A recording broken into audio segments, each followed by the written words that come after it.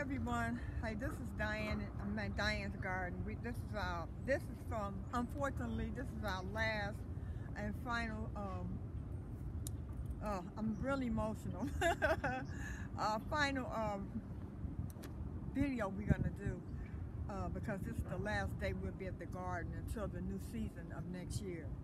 So today we're out here. I'm about to pull up all that I can.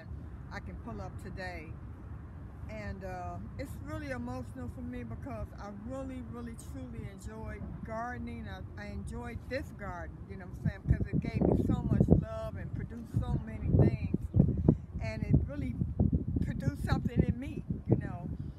So anyway, um, we're gonna start pulling up uh, the kale.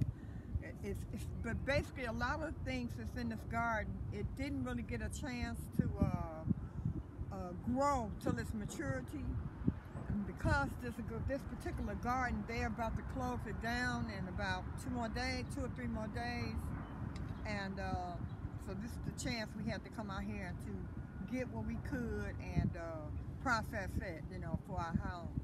So anyway, we're gonna start here with the, uh, this is my spinach and this is some uh, dinosaur carrot right here. It's not really as big as it could have been, but it should have been a little bit lar larger than it should have been.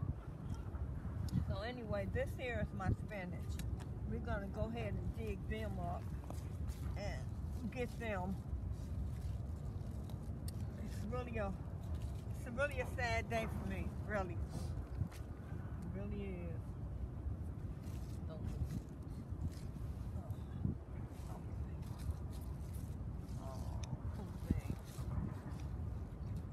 we have to come out here now and get what we can because it's getting cold and uh,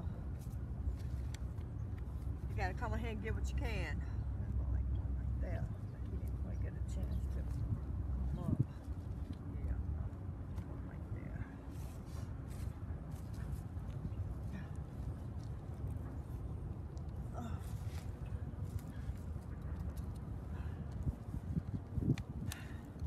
Spinach.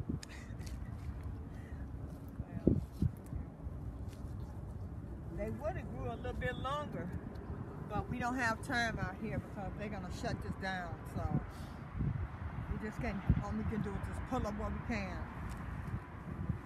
Go ahead from there.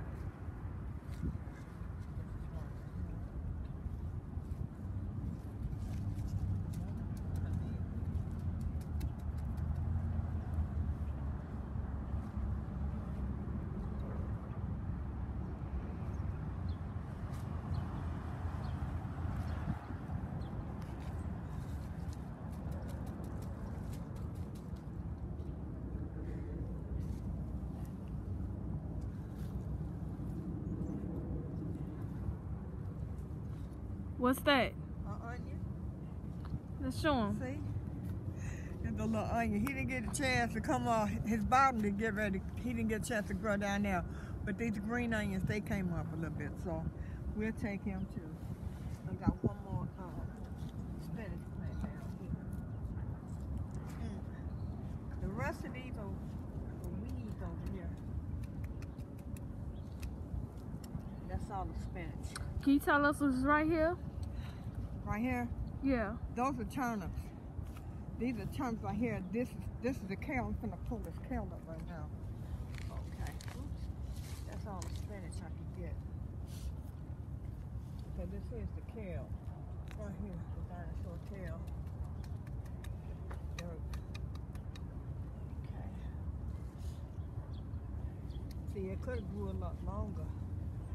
See that big old plant back there? That's a dinosaur. Let me show them. Come over here.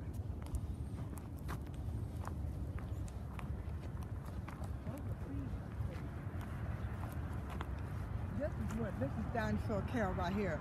That's what I'm pulling up right now. It would have looked like this. If it had a chance to grow any anymore, I would have had a lot of these over there. Just like this over here. Yeah.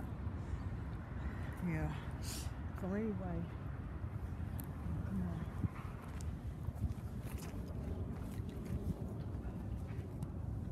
Yeah, that's what this is. What that would have looked like if they had an opportunity to grow.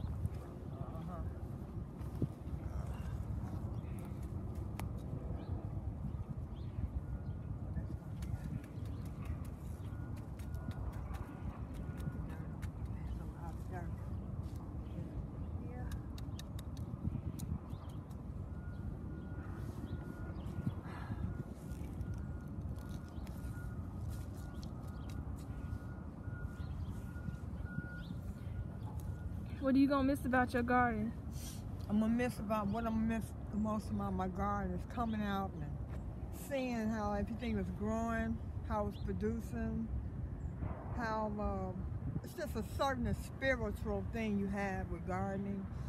And um, I, I, really, on my way here, we was I was almost in tears because I said, you know what, baby, I'm not, we're not gonna be able to come out here, not no most, not no no, no time soon.